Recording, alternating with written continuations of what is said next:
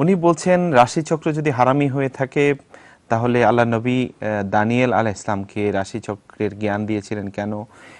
বিভিন্ন সোরায় রাশিচক্রের ব্যাপারে কথা আসছে। অনেকগুলো ইয়ে রাশিচক্রের ব্যাপারটা উনি জানতে চান। ব্যাপারটা হলো কি মানে শব্দটা একটু অ্যামেন্ডমেন্ট করা উচিত। কারণ কোরআন আল কারিমে রয়েছে বুরুজ।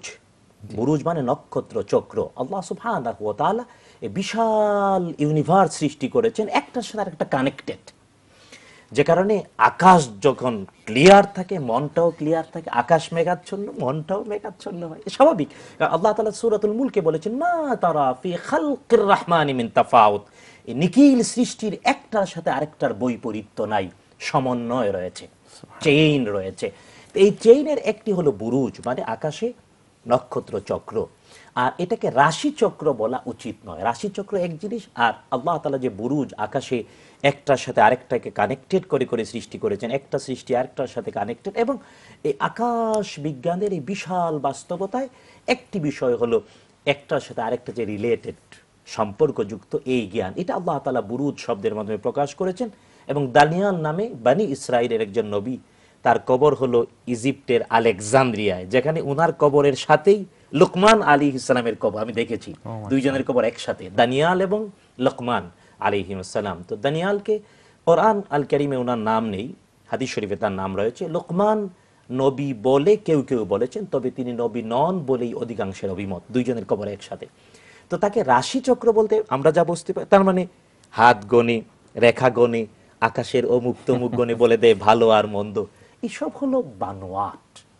মোহাম্মদুর রসুল্লাহ সাল্লাহ তালা আলিহি আলী ওসাল্লামও আল্লাহ তালা তাকে ওই জ্ঞান দেননি। তিনিও বলেছেন, তোমার ভবিষ্যৎকে আমি জানি না। যদি আমি জানতাম, লাউ কুনতু আ'লামুল গায়বা লাস্তাকসারতু মিনাল খায়র ওয়া মা মাসানিয়া সু। আমি যদি জানতাম অ্যাডভান্স কোনো কিছু, অগ্রিম কোনো কিছু, আগামী দিনের কোনো কিছু, তাহলে আমাকে মন্দ স্পর্শ করতে পারতো না। সব ভালো ভালো বেছে নিতাম। তো এই পৃথিবীতে আমাদের জন্য কেয়ামত পর্যন্ত সকল মানব দানবের জন্য চূড়ান্ত জ্ঞানের স্টেশন হলেন মুহাম্মদুর রসুল্লাহ সাল্লাহ আলী আলী ওসাল্লাম এবং তিনি এমন চক্র গণে গণে কাউকে ভালো বলা মন্দ বলা এটাকে সভ্যতাহীন আচরণ বলেছেন কুফুরি বলেছেন। শুধু তাই না, বুখারিতে দুইটি রেওয়ায়ত রয়েছে। একটি রেওয়ায়ত যে ব্যক্তি এমন গণকের কাছে যায় যে হাত দেখে কয়ে দেয় ধনী বানাই দেবে মন্দ অথবা মন্দ থেকে বাঁচাইয়ে দেবে।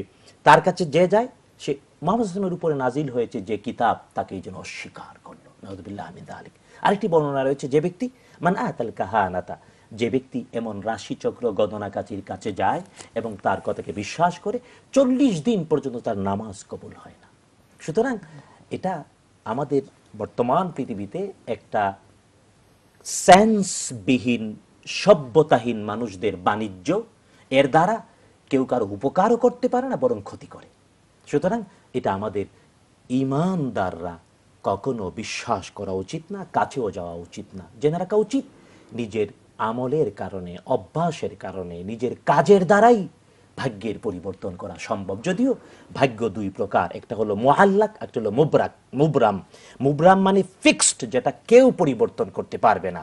যেমন জন্ম, মৃত্যু। আর কিছু বিষয় আছে নিজের কাজের উপরে। যেমন আমি ইংল্যান্ডে আসলাম, মাহমুদুল হাসানের সাথে পরিচয় হলো, না আবদুল্লাল মামুনের সাথে পরিচয় হলো। আবদুল্লাল মামুন আমাকে, ভাই, একটু আসেন আমাদের। এই যে এই যে আশা, এর দ্বারা অনেক দর্শকের সাথে পরিচয় হওয়া, কথা হওয়া, কাজের দ্বারাই এই যে সুযোগটা আসা। আল্লাহ তালা নিজেই কোরআন আল কেরিমি কথাটা এইভাবে বলেছেন মা বিআনফুসিহিম।